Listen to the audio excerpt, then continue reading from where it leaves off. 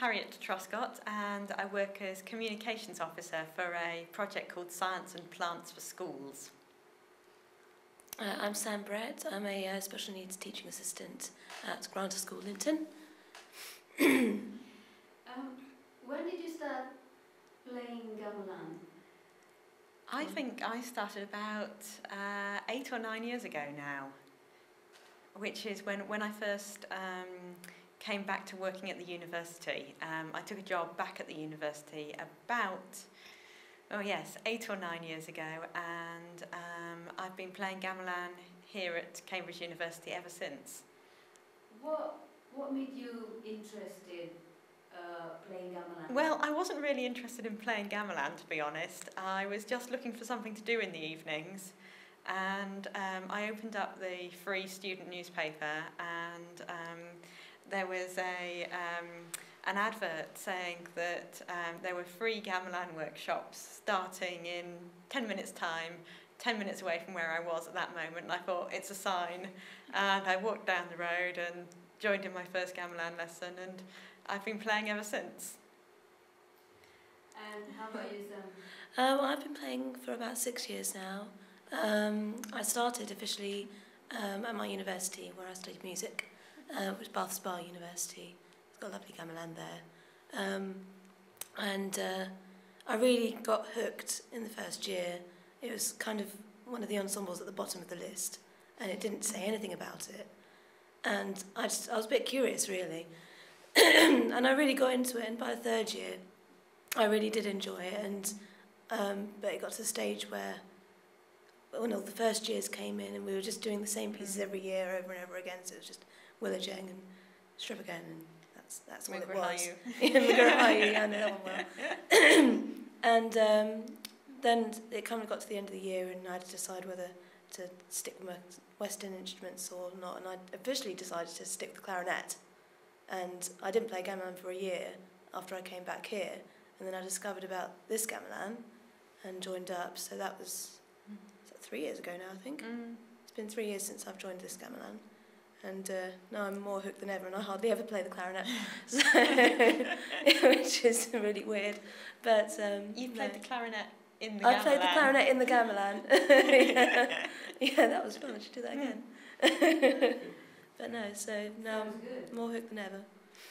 You should uh, compose uh, clarinet and uh, gamelan and perform. I have I have been tempted actually, but all I can think of is like Lou Harrison, and I, I'll, probably end up being a Lou Harrison copy or something.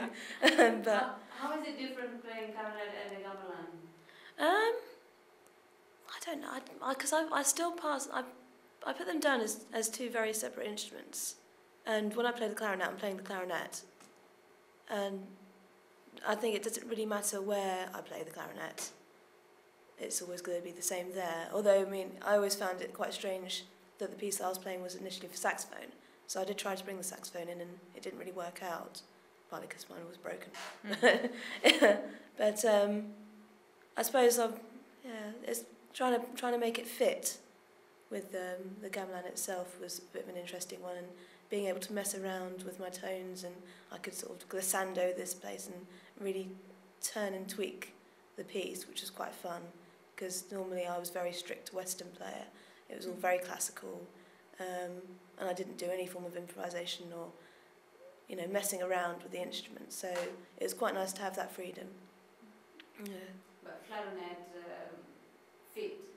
It did actually. It did. Um, better than the saxophone, which it originally was for.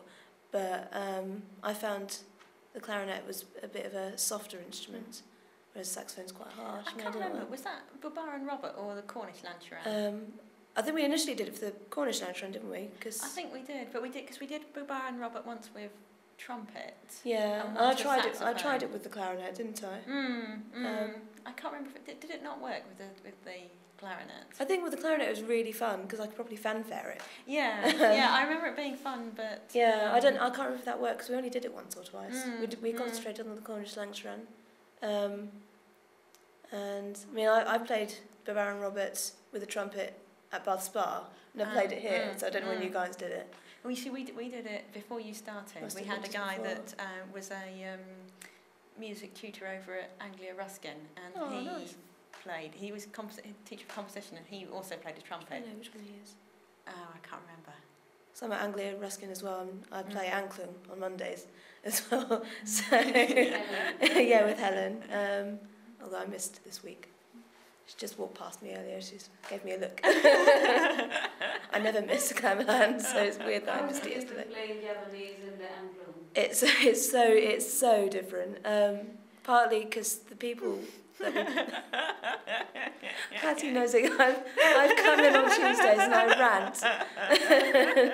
um, well, with Balinese, it's a university group and they're all first years and they're not very serious about what they do quite yet. And um, it's one of those things they kind of have to choose either Anglo or something else. So not many people go in there with like, right, I'm going to learn gamelan. Mm. So it can be a little bit frustrating sometimes. And Especially with them all starting going back to the beginning every yeah, year. Yeah, although this year we've got we've come on length sort of strengthened. uh, It's been great. Um, whereas here we all come on at seven thirty and we we knuckle it down for two hours Mm. and we all really want to learn stuff. Like every week, someone learns something new, which is great. Whereas uh, it, with Balinese, the group that we're with, we do the same thing every week, and we don't seem to get very far. Um, but the actual play itself is it is very different. Like, I mean, obviously the mm. tuning system's slightly different, and it's very different sound. I mean, I love the sound, but I'd rather listen to it on CD where people can play properly. I mean, um, I saw um, a video of some proper, really professional players uh, playing the reyong, and blew me away comparing to me playing my two tiny, two, two tiny um, reyong and these guys were just flying around and they're all together and they didn't even look at each other. It was brilliant. Whereas we, it just takes people a long time to get their rhythm right. Mm. You should come to London and play with us in London. Yeah, Helen's Mm. told me this so many times. I can, I, I, I'm, I'm tempted again. Mm. um, but so yeah, it's London. Mm. And how about you, Harriet? Uh, how do you feel playing uh, with the group? Oh, that's a really hard question. Um, well, um, It depends on, uh, as always, depends on how well the how well we know the piece, how well it's going. Um, it can it can be absolutely brilliant. There are, there are times when I just look around and I think I can't believe that the people that are playing around me that this that this incredibly mechanical looking set of of um, bits of metal suspended on bits of wood that the people just hitting these that it all comes together and makes this incredibly complex interlocking sound. It just sounds Mm, it sounds like one instrument. Yeah. um, and especially especially when when suddenly when suddenly there's some kind of moment of transition and you've gone from something very simple to suddenly maybe the bonangs are starting to play an interlocking pattern and it just suddenly everything just um, unfolds and you're, you've gone from something very simple to something incredibly complex.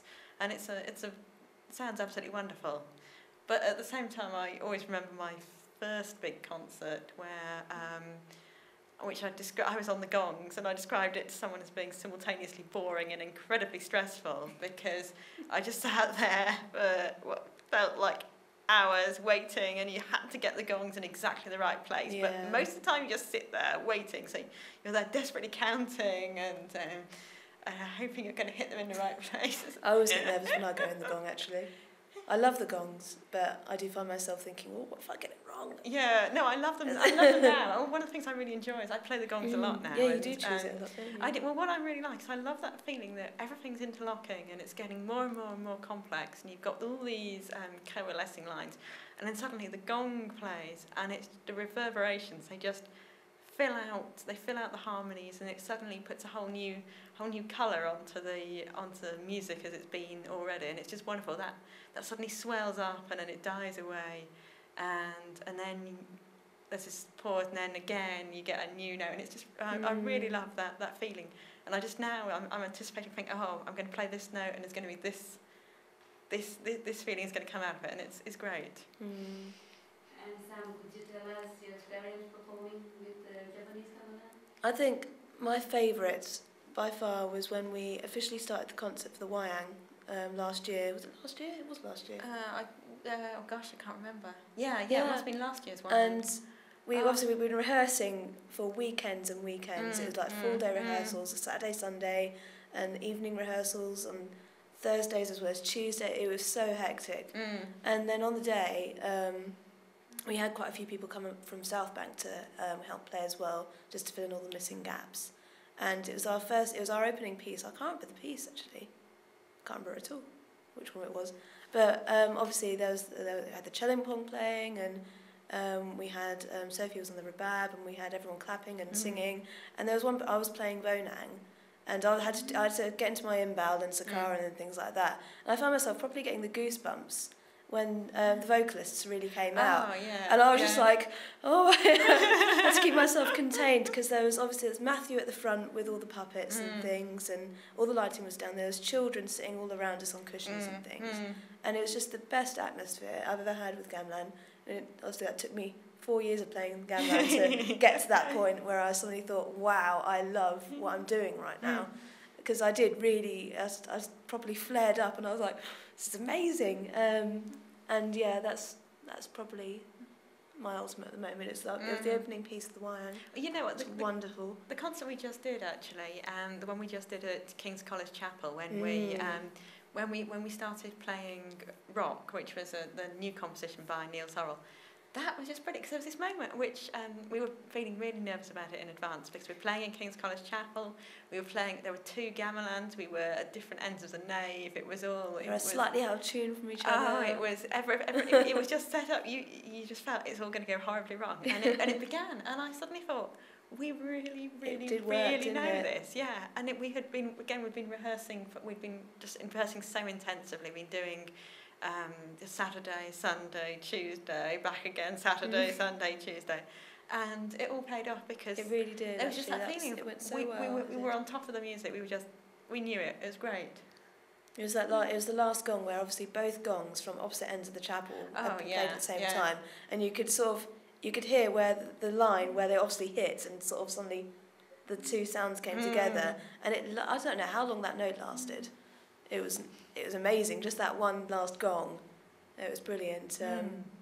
It was good fun in the end because yeah, that was that was quite a nerve wracking moment whether we, we could be together or not because Yeah, yeah. rehearsals were a bit edgy. oh, they were. They and we never yeah. even got to talk to the York Gamelan people properly either. So the only communication we ever did was was shouting at each other during the piece, which was which was fun.